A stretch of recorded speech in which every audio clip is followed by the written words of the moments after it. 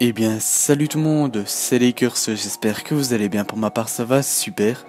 Donc aujourd'hui, je vous retrouve pour une nouvelle vidéo de glitch sur GTA V.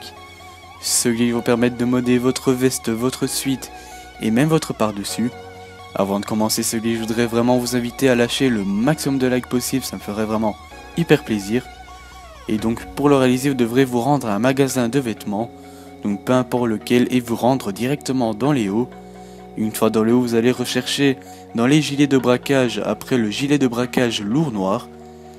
Une fois que vous l'aurez, vous allez vous équiper de ce gilet et vous rendre ensuite dans les blousons de cuir.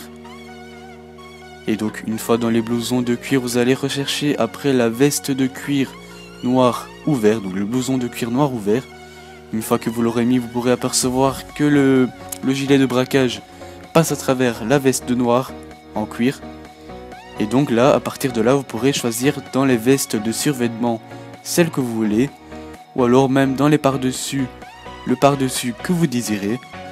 Donc je trouve vraiment ce glitch assez what the fuck et vraiment stylé. Et aussi vous pourrez aller choisir dans les suites à capuche. Et donc ça fera exactement le même. Donc voilà, j'espère vraiment que ce glitch vous aura plu. Moi je vous dis tous à la prochaine pour de nouvelles vidéos de glitch sur GTA V. Allez à plus tout le monde